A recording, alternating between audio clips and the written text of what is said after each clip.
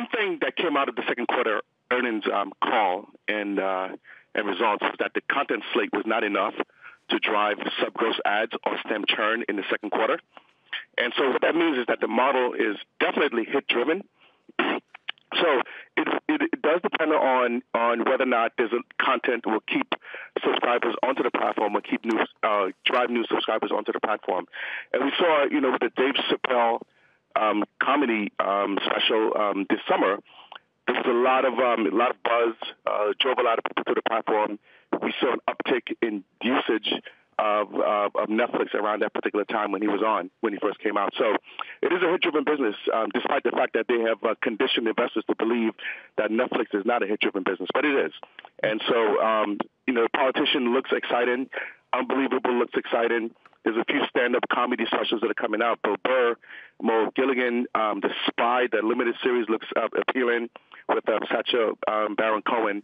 So yes, there's a lot of um, appealing content coming in uh, in the month of September, uh, especially that I think should drive consumers onto the platforms, uh, especially now that the competitive um, um, space mm-hmm. is um, becoming more intense over the next year. Well, well, they, Victor, as you know, put the term binge watching into our vocabulary. They pioneered it, dumping every show out at once.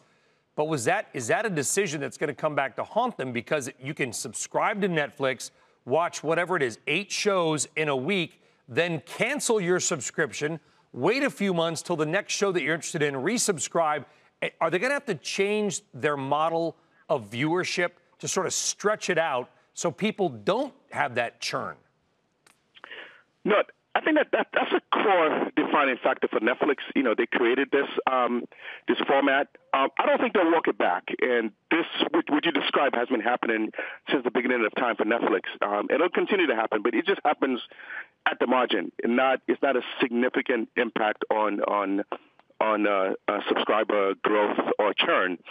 And so only a small subset of of, uh, of the viewers actually come in and out, come in and out every single month, depending on on the, the hits on the platform. So no, I don't think they'll walk it back. I think, um, but I do think Netflix has other issues, you know, like a lack of pricing power, an intrinsically high valuation that needs to come in further. I think. And um, and the competition, like I said, that's coming out at lower prices will be an issue for them. Now, Victor, you've got a hold rating, but a $310 price target on the stock. That's roughly $47 above where the stock is now. So I'm assuming you got to either look at your rating, maybe pop it to a buy, or bring that price target down at some point. Yeah, so that's uh, the price target I had following the second quarter earnings um, conference call and results, um, and I cut the price target significantly because of the some of the issues I just mentioned um, and I'll reevaluate whether or not you know things have changed materially, and whether or not I'll need to change my, my valuation on the stock. So um, you know, stay tuned on that. But you know, I think there's lots of uncertainty in this business model that, at the very least, could um, you know deter new investors from come, entering the stock, or at worst, um, for the equity, forcing existing investors to reevaluate their positions mm-hmm. with an eye for trimming or exiting their positions altogether. So with that said, though, we'll need to see whether or not how strong this content slate is, whether the politician unbelievable some of the new um, um, originals that or films that are coming out, yeah. whether or not it's enough to offset you know some of the issues I just laid out.